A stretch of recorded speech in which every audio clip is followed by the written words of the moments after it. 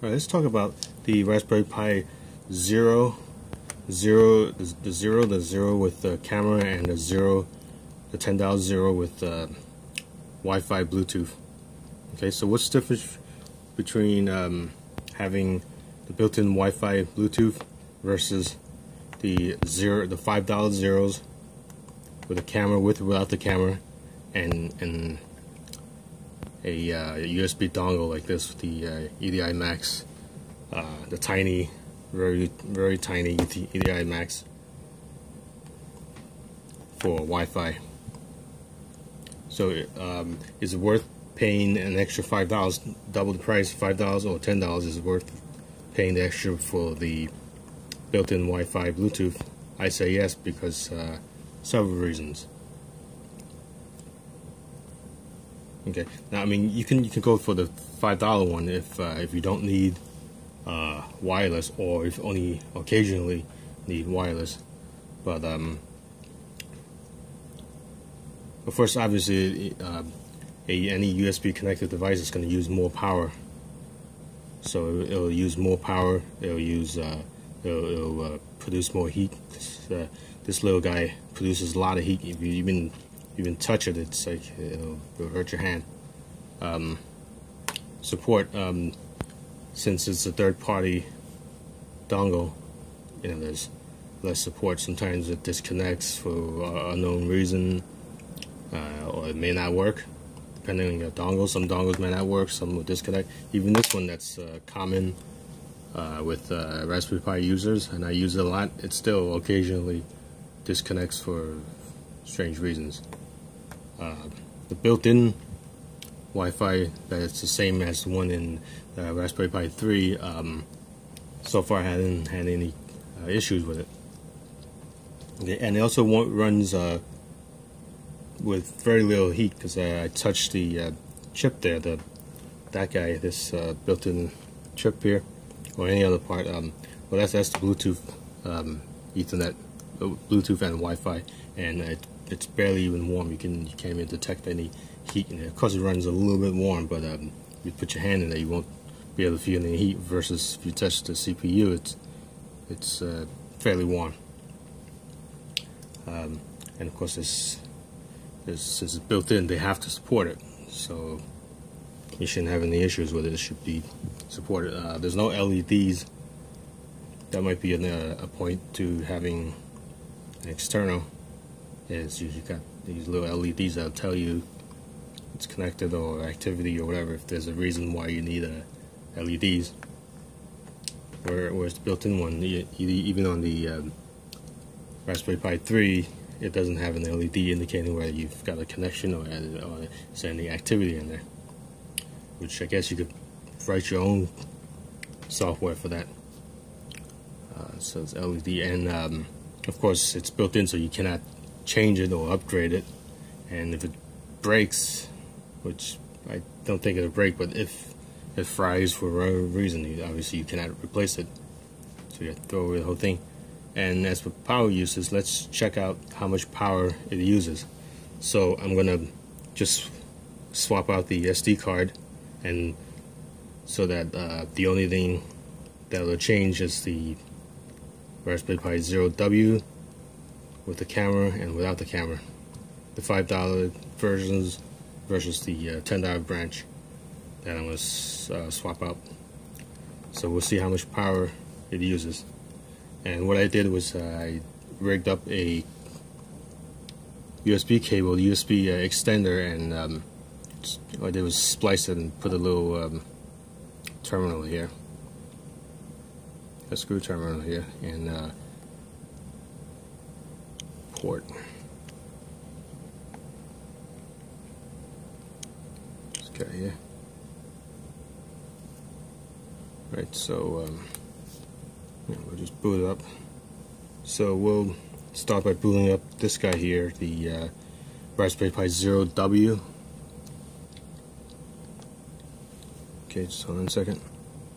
Right, just watch the meter while it boots up just move this a little bit out of the way and just watch the meter as it boots up see it uses like 60 milliamps 120 milliamps and it's still booting up. No monitor because I don't want to uh, have any uh, variables on there, any unknowns. So with the minimum, just the SD card and absolutely nothing else.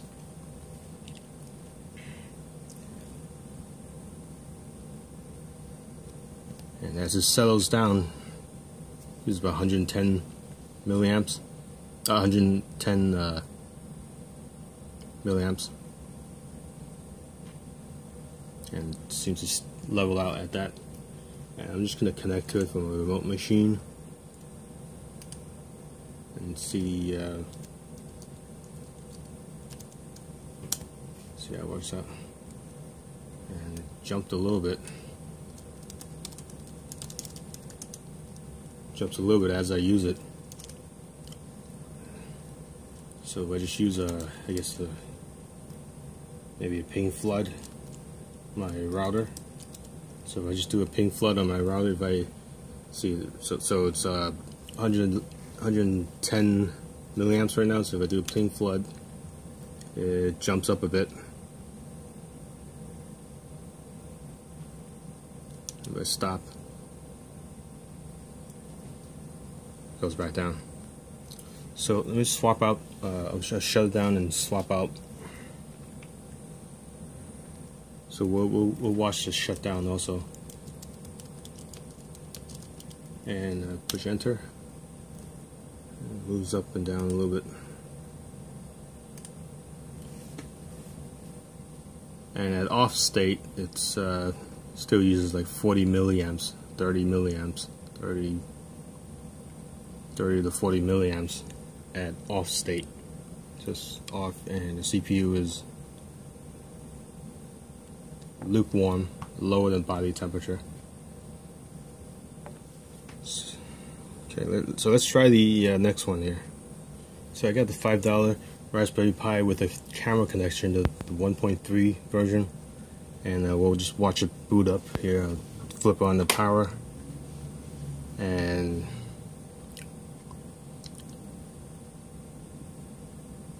so it uses quite a bit of power.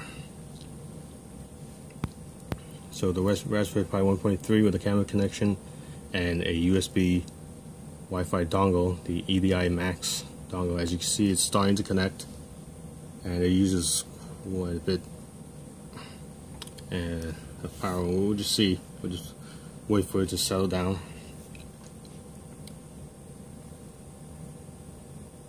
And um, yeah, it's still. I mean, it's not a tremendous amount of power more, but it is more power uh, if you're running off a battery, then that will count. Although it's not tremendously heavy, battery heavy, so a little bit. So the W has, when it settles down, uses um, 110 milliamps. This one with the adapter, the USB adapter, settles down at it still hasn't stopped, but it's it's about 130 milliamps to 160 milliamps. But so far, it seems to be settling down at 130 milliamps. Might be doing something, but uh, I'll just connect to it now. It should be the same IP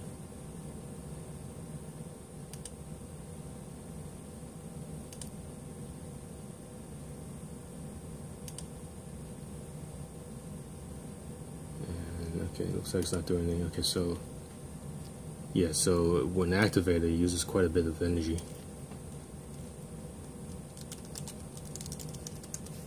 So I'm just push, pushing enter a bunch of times, and it's using 200 milliamps.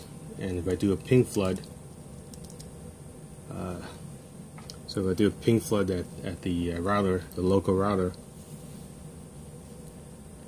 not not not internet, not crossing the internet.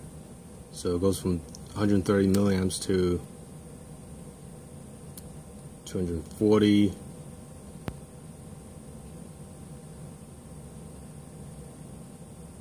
about 230 240 milliamps. Okay, so it uses significantly more if it's uh, if you're running off a battery that might be an issue. Well, not really, but it's not not terribly so. But it does heat up quite a bit. It heats up your hand quite a bit. It may or may not be a deal breaker for you, but um, oh, I got to do a shutdown, and then I'm going to swap out the original Pi. So we'll let it settle down and do a shutdown. Okay, I'm already disconnected, so there's no activity. Alright, so um, shuts down at about the same power. So I'm going to swap out the original $5 Raspberry Pi Zero without the camera, without the wireless. I'll also note that uh, everything stays on, the USB stays on when you turn it off. So you, you need to physically disconnect, otherwise it'll continue to drain.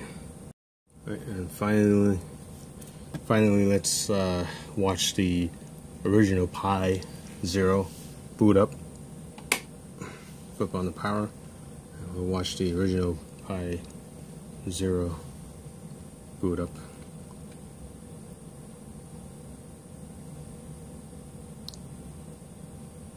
Okay, get the activity light here, which you can barely see. Yeah, and the uh, Ethernet is USB Ethernet dongle is activated. And we'll just watch and wait for it to settle down. Okay, so the zero original 5.0 with the Ethernet, with the uh, Wi-Fi dongle connected and settled down seems to use about the same amount of energy as the one with the camera adapter. So if going to buy the $5 one, buy the one with the camera adapter because it uses the same amount of power. Right, so let's see um, see what happens when we do a uh, we'll connect to it and as we connect to it it jumps up a bit okay as I'm typing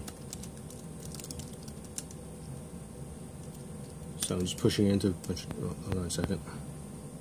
So it settles down uh, so it settles down at about the same 130 milliamps as the camera one and if I'm just pushing a bunch of pushing enter a bunch of times.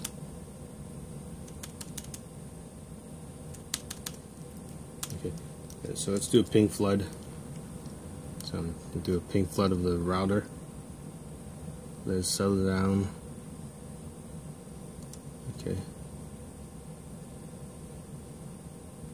so the ping flood is about the same 230 milliamps.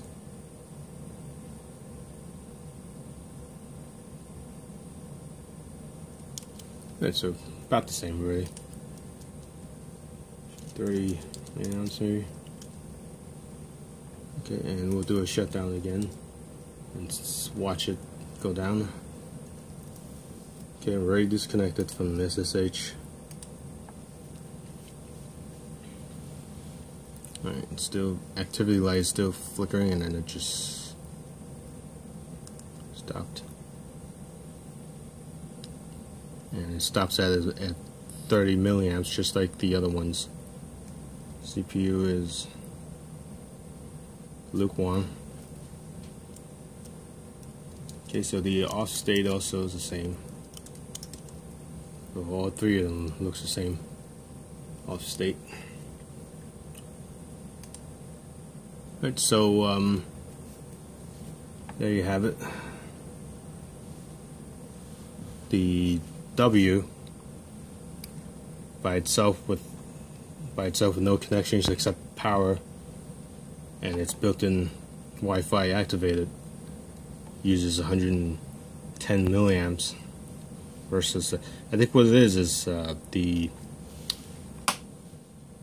the uh, USB controller interface on the dongle is using the slight, slightly more power. It's one that's draining, putting the slight load on the device. That's giving it the extra 20 milliamps. You got the, you know, if you think of a block diagram, you have this guy here. It's got uh, a USB interface module, and then it's got the Wi-Fi module. If you think of a block diagram, think of it in terms of a block diagram. So the USB part might use 20 milliamps, which isn't terrible, which is you know not not not bad at all. Um, but if you're running a zero off a battery, then obviously that's gonna be an issue. So if you're just trying to minimize uh, power usage, okay. So the two branches, the ten dollar branch versus the five dollar branch, uh, connected to Wi-Fi, is the ten dollar branch uses 110 milliamps when settled down, and the other branch, the five dollar branch, uses 130 milliamps settled when settled when the activities die down. Uh, activity when I did a ping flood, 160 milliamps on the ten dollar branch and 240 milliamps on the five dollar branch. So those are the compromises. All right. Um, Otherwise, there isn't any other noticeable differences. Except uh, on the power system here, there's a little coil there. There's a little choke coil there. And it's the same one uh, found on the Raspberry Pi 3. So I don't know what that does. I guess it's just it's just a power conditioner. Uh, probably just to remove uh, interference. It's not present in the other ones, so I'm not sure why it's not needed in the other ones. Probably because Wi-Fi, it may, you know, noise from your USB might interfere with the Wi-Fi activity. Maybe that's why they need the filter there. Control coil to remove the 60 hertz or any kind of noise that's already there. Alright, thanks for watching and have a good day.